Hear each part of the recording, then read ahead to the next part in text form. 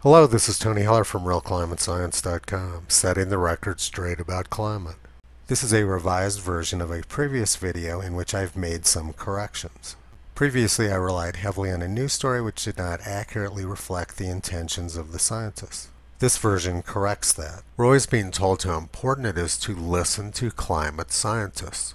So in this video, we're going to do exactly that. Here's a story which came out yesterday. Earth needs fewer people to beat the climate crisis, scientists say. We declare, with more than 11,000 scientist signatories from around the world, clearly and unequivocally that planet Earth is facing a climate emergency. The scientists wrote in a stark warning published Tuesday in the journal Bioscience. There needs to be far fewer humans on the planet. So according to Bloomberg, these 11,000 scientists believe that billions of people need to be removed from the planet. In the Bioscience article, the scientists said they want to accomplish this strictly via voluntary measures. Now let's take a closer look at what these scientists perceive to be the problem. Almost all of the world's population growth is occurring in Africa, so these 11,000 scientists, by implication, are targeting the African people.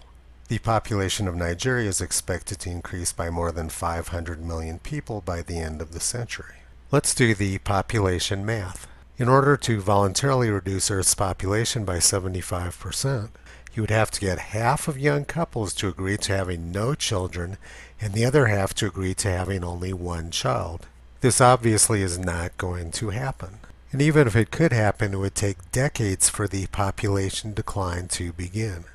Climate alarmists say that we only have about a decade left. The world's population has been steadily increasing, and there's never been a case when people have voluntarily massively reduced their own population. It should be obvious to any thinking person that there is no practical way to massively reduce Earth's population voluntarily. The only times in world history when populations have been rapidly reduced have been due to disease, hunger, or genocide and these signatories say they don't support any of those concepts. Yet this wasn't always the case in the scientific community. The timing of the news story is very appropriate because it comes on the 50th anniversary of scientists wanting to poison the food and water supply of third world countries in order to keep their population down. New York Times, November 25, 1969.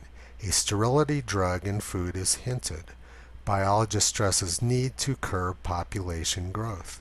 San Francisco, November 24th.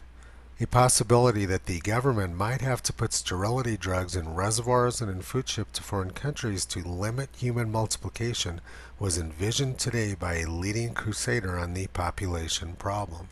The crusader, Dr. Paul Ehrlich of Stanford University, among a number of commentators who called attention to the population crisis as the United States Commission for UNESCO opened its 13th national conference here today. Putting substances in the food and water supply which damage people's bodies could only be considered poisoning. Let's think about the context of this meeting. This was a meeting of the United Nations where they were talking about poisoning the food and water supply of third world countries. Most people outside of the academic community would consider that sort of crazy talk to be rather disturbing. I find it incredible that the New York Times and the United Nations were willing to entertain this idea. And it should not be surprising that Paul Ehrlich was one of the signatories of the new letter. However, Ehrlich's proposal to poison the food and water supply wasn't the only thing he was up to at the time. This was also right around the time when Dr. Ehrlich and his close associate, Dr. John Holdren, who went on to be Obama's science advisor, were pushing global cooling and a new ice age. New York Times, September 29, 2009. As a longtime student of John P. Holdren's gloomy visions of the future, like his warnings about global famines and resource shortages, I can't resist passing along another one that's just been dug up. This one was made in 1971, long before Dr. Holdren became President Obama's science advisor. In the 1971 essay, Overpopulation and the Potential for Ecocide, Dr. Holdren and his co-author, the ecologist Paul Ehrlich, warned of a coming ice age. So in 1971, these academics not only believed we were having a population crisis, but also a climate crisis too. The difference being that the 1971 crisis was global cooling rather than global warming. And they believed that the government needed to poison the food and water supply in order to keep the Earth's population down. We've already seen some rather remarkably dangerous academic insanity, but it goes on. Here's another interesting article from 1974. Stanford biologist Paul Ehrlich, author of the highly successful book The Population Bomb, is an immensely likable guy. He's also deeply concerned about the fate of the planet and all of its inhabitants. Paul Ehrlich has noticed yet another dark cloud on the horizon. Reid Bryson and some other climatologists are now pretty certain that the climate we experienced from 1930 to 1960 was the peak of a 1,000 year warm cycle. The world will not enjoy weather as good again for another 100 decades. This means that the drought now spreading across the sub-Sahara, the late spring in our own Midwest, the increasingly chancy character of India's monsoon rains, and other isolated weather events may not be so isolated after all. These words all sound very familiar. 45 years ago, the academic community was expressing exactly the same concerns about climate and overpopulation, only back then they were talking about global cooling rather than global warming. And the press described Dr. Ehrlich, who wanted to poison the third world, as an immensely likable guy who cared about all of the Earth's inhabitants. Now let's go back to the original article. Forty years ago, scientists from 50 nations converged on Geneva to discuss what was then called the CO2 climate problem. At the time, with reliance on fossil fuels having helped trigger the 1979 oil crisis, they predicted global warming would eventually become a major environmental challenge. We've seen the current claim about 40 years ago. Now let's go back in time 40 years and see what was actually going on. March 9, 1980. New ice age may soon grip cooling Earth. Something strange is happening to weather throughout the world. Chills and droughts in recent years have hit not only here, but also in Europe, Africa, Asia, New Zealand, and South Africa.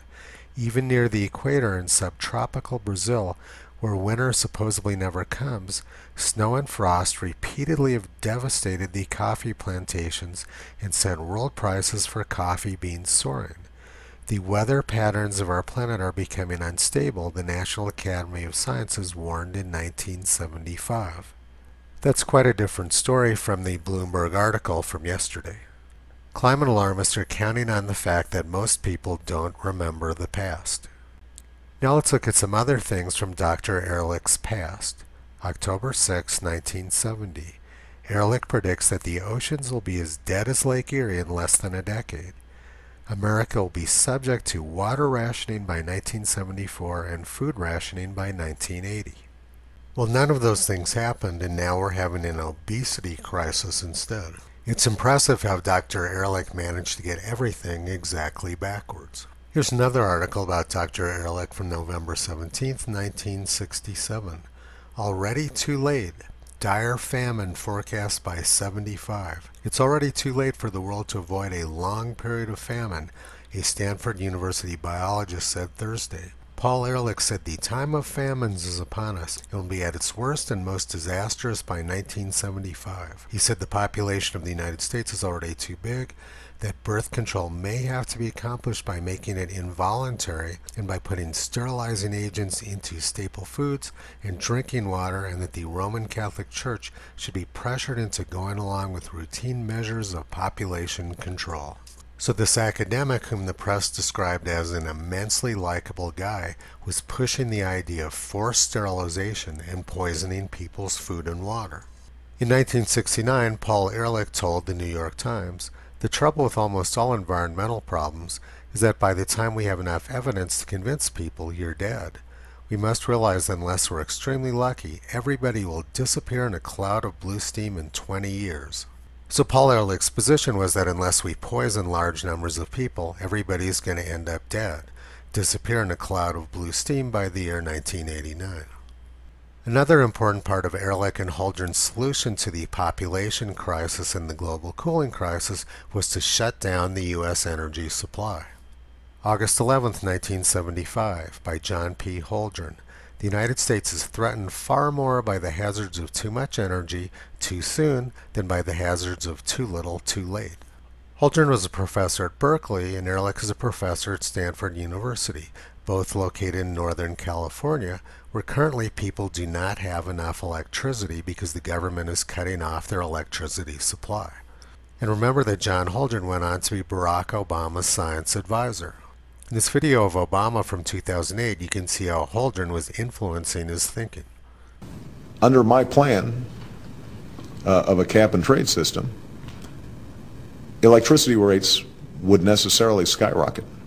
Even, you know, regardless of what I say about whether coal is good or bad, because I'm capping greenhouse gases, coal-powered plants, you know, natural gas, you name whatever the plants were, whatever the industry was, they would have to uh, retrofit their operations. That will cost money. They will pass that money on to consumers. There's no better way to shut down the U.S. energy supply than to make it too expensive for middle class and poor people, as Obama said he wanted to do. Making fuel too expensive for people to heat their homes or giving them a choice between heating their homes and feeding their children would cause tremendous harm and likely death to a lot of people. During the 1970s, a large group of scientific signatories sent a letter to President Nixon warning of a new ice age in about a century. And NASA's leading climatologists, Rasool and Schneider, predicted a new ice age as early as 2021. Ehrlich got all of his prior eco-catastrophe predictions wrong and was promoting poisoning huge numbers of people. But by 1997 he was calling essential trace gas carbon dioxide a poison and saying it was criminal to not believe his global warming scam. It's amazing that someone who had been promoting poisoning the food and water supply would label essential life-giving gas carbon dioxide as a poison. And he called other people criminal for providing the energy which the population needs to survive. The academic community turned on a dime switching from the global cooling scam to the global warming scam. In 1989, the United Nations said that entire nations could be wiped off the face of the earth by rising sea levels if global warming is not reversed by the year 2000. In 1988, experts said that the Maldives would be completely drowned within 30 years, which would have been last year. And they also said that the Maldives would run out of drinking water by the year 1992. And meanwhile, back in the real world, the Maldives are prospering, opening up five new airports this year alone. Not too bad for a place which was, according to experts, supposed to be underwater last year. I took this picture up at the National Center for Atmospheric Research earlier today. Note the text I've got highlighted. Some entire island nations will be submerged. This is the same text which the UN used in 1989 when they said we only had until the year 2000 to save these nations from being drowned. Climate scientists seem to be completely oblivious to their past failures and incapable of learning from their own history and their own mistakes. But this may have been the most disturbing exhibit at the National Center for Atmospheric Research today. It says that you choose the climate future by the choices that you make. These were some of the choices they gave you. They want you to give up your meat, they want you to give up your car, and they want you to give up your vacations and plane travel. So why are climate scientists trying to control your diet, your vacation, and your travel? This notice I got from the American Association for the Advancement of Science gives us a good hint. They want rapid, far-reaching, and unprecedented changes in all aspects of society. It should be obvious by now that this is not about climate. It's about people who want to control every aspect of your life. They've been doing this for a very long time. This 30-year-old article from the Canberra Times shows us exactly the same thing. Governments must yield national sovereignty to multilateral authorities able to enforce laws across environmentally invisible frontiers if the greenhouse effect which threatens the future of whole nations is to be overcome the Commonwealth Secretary General said on Tuesday. A Commonwealth expert group set up to look at climate change estimates there's a 90% certainty that the planet would become warmer by at least 1 to 2 degrees, perhaps much more, and that sea levels would rise by between 1 and 4 meters by the year 2030. So they were 90% certain that we were going to get between 3 and 12 feet of sea level rise by the year 2030. I think we can be 100% certain that these people's agenda was not about climate, but rather was about social engineering. There is no man-made climate crisis. Geologists such as myself know that there's no such thing as an extinction crisis caused by carbon dioxide. The greatest explosion of life on Earth occurred 540 million years ago when CO2 levels were more than 15 times higher than they are now. Life loves CO2. And the reason we have all of these coal beds now is because at the beginning of the Carboniferous era, there was lots of carbon dioxide in the atmosphere, which stimulated growth and produced massive peat beds, which later turned into coal. These 11,000 academics who are terrified of carbon dioxide are not very good scientists. Actual scientists know that there's no such thing as a CO2 driven extinction crisis, and that carbon dioxide is extremely good for life. Voltaire said, Those who can make you believe absurdities can make you commit atrocities. The absurdity is the climate crisis, and the atrocity is the hysteria which has occurred as a result of scientists promoting the imaginary climate crisis. These academics who are promoting the fake climate crisis are losing control of their own agenda. They tell people that we need to massively reduce the Earth's population or the entire ecosystem will collapse. Yet they don't provide a practical solution for doing that. So the hysterical mobs they have created are taking things into their own hands. Here's a tweet from today showing exactly what I'm talking about. Dear Nature, we're done reading the mansplaining trash from myopic white bros who do not speak for those on the front lines. Michael Mann has been and continues to be problematic and dated. Publishing his mediocrity isn't a good look. Michael Mann was a key player in creating the global warming hysteria, and he's lost control of the angry mob he created. They've started ridiculing him. The angry mob has seized control of the agenda. History shows us that once the angry mob takes over, there's no limit to the level of atrocities which can occur. These academics have made a huge miscalculation.